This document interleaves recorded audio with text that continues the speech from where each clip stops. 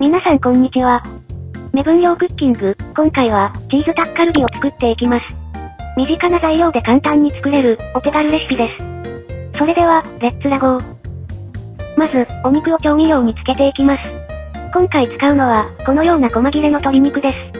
小さい方が味が染み込みやすく、また火が通りやすいので、調理時間の短縮になります。酒、醤油、砂糖、おろしニンニク、おろし生姜を加えたら、コチュジャン登場。コチュジャンがない場合は、唐辛子と味噌で代用できると思います。で、味が濃いものや辛いものが好きな方は、結構ドカンと入れちゃって大丈夫です。しっかり混ぜたら、次の作業に移りましょう。野菜のカットです。スーパーに、このようなミニサイズの玉ねぎが売っていたので、使ってみようと思います。二つぐらいかな。キャベツも豪快にカットして、水で洗っておきましょう。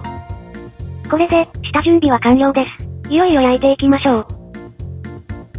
フライパンに油を引いて、玉ねぎから炒めます。色が変わってしんなりするまで、しっかり炒めましょう。キャベツ投入。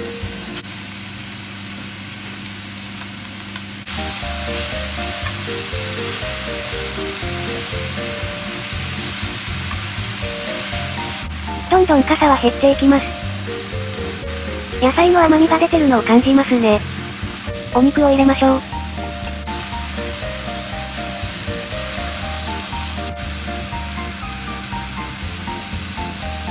火を弱めて蓋をして、じっくり火を通していきます。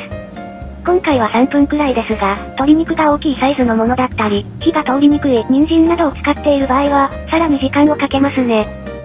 ずっと気になってたことなんですが、チーズタッカルビと、チーズダッカルビの二通りの言い方があるじゃないですか。どっちが正しいのか調べたところ、どっちでもいいそうです。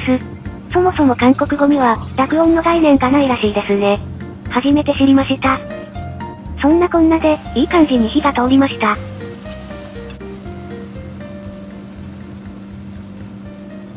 お皿に盛って、くぼみを作って、チーズを余熱で溶かそうと思ったのですが、あーこれ全然溶けねえってなったので、おとなしくフライパンで溶かしました。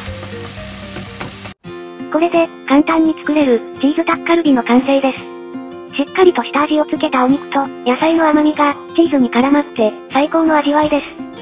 身近な材料で作れるので、ぜひ作ってみてはいかがでしょうか。それでは、ご視聴、ありがとうございました。